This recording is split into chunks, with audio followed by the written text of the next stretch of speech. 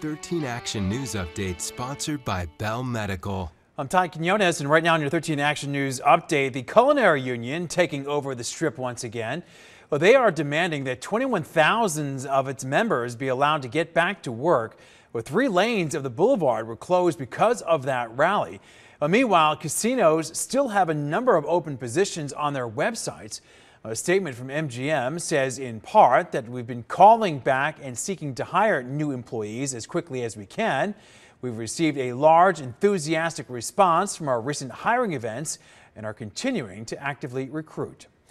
The CCSD School Board is meeting right now, and trustees they are set to discuss the possible termination of Superintendent Jesus Jara's contract.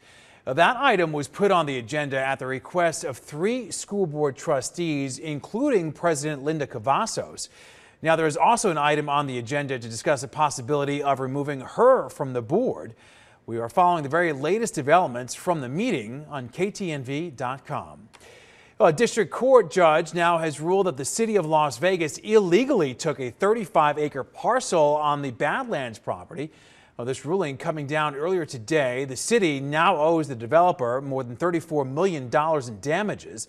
Uh, this, though, is just one on the parcel of property. There are a total of 250 acres. There are three more pending lawsuits.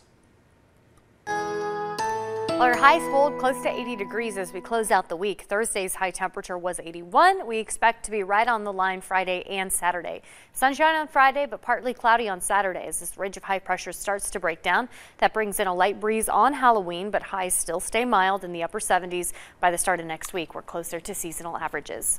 Danny, thank you. And that was your 13 Action News update. Remember, you could always get the latest news at ktnv.com.